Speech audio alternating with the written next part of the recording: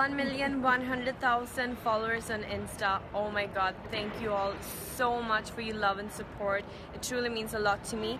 And what I wish is that one day I will perform in a stadium like Real Madrid for all of you. So let's hope that wish become true. Hey all, so I just got done with my rehearsal for tonight's performance on Masala Awards. Um, I'm nervous, but I'm also really, really excited. Uh, I will be performing on uh, Ina Ki Masti Hai, Salam Ishq, Mardala, Diwani Mastani, and Kajra Re. And uh, I really hope that you all will enjoy it.